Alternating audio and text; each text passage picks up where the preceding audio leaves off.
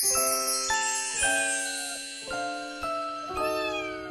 い、皆さんこんにちは。えー、今日はですね、えー、昨日開封したこちらの、えーと、メイクポーチをちょっとね、早速、昨日メイクは入れたんですよね。なので、はい、こんな感じです。どうでしょう？まだ結構入るんですけど、キャンメイク。はいキャンメイク。キャンメイク。こんな感じでね収納できるのでこれはアイシャドウですね。はい。こ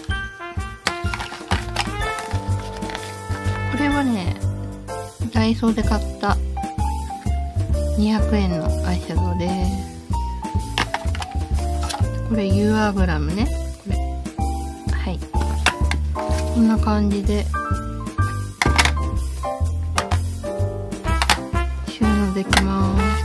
これはちょっと鼻炎の薬。そしてここにはブラシだったりこのなんだっけアイブロウペンシル。でこちらのスキン